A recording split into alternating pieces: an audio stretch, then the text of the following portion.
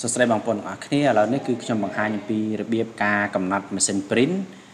ឲ្យ print មកគឺច្បាស់នៅពេលដែលយើង print សញ្ញាបត្រ print certificate ឬមួយក៏យើង print លិខិតអីផ្សេងផ្សេងដែលតម្រូវ print ឲ្យឲ្យច្បាស់ណាអញ្ចឹងមុនដំបូងគឺយើងចូលទៅកាន់ control panel នេះណាបាទអញ្ចឹងយើង search រក control panel នេះដើម្បីចូលទៅកាន់បន្ទាប់មកគឺយើងចុចចូលកន្លែង view device and print នេះមក អញ្ចឹងយើងយើងមកស្ដាំហើយយើងយក printer property នេះអញ្ចឹងបន្ទាប់មកគឺយើងចុច preference បាទអញ្ចឹងនៅកន្លែងនេះគឺវាលោតនៅ standard អញ្ចឹងយើងដូរពី standard មកដាក់ high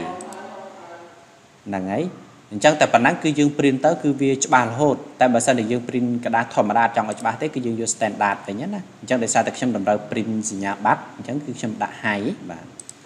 គឺ print មកគឺអឺសាច់របស់กระดาษហ្នឹង color ហ្នឹងគឺវាម៉ត់ស្អាតណាបាទហើយបន្ទាប់មកយើងចុច OK មកបាទហើយចុច OK មួយទៀតហ្នឹងហើយតែប៉ុណ្ណឹងគឺរួចរាល់បាទ